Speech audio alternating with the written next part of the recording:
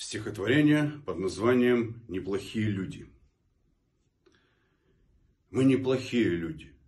Мы просто пришли из плохих мест. Там, где подобно Иуде, голодная псина сама себя ест. Мы с добром в сердцах, с мудростью отца, глупо отрицать. Мы на злых людей сами волки. Где горят мосты, где судьба пустырь, разум там остыл. Кривотолки. А что делать мне, если я не согласен?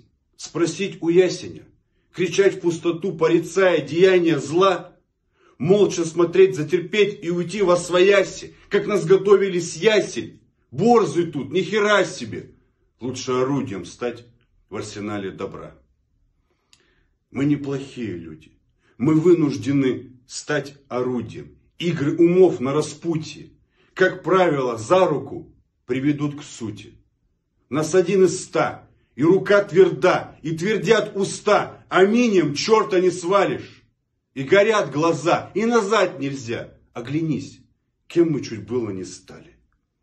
Да, сложно, но я уберу в ножны то зло, что внутри съедало меня.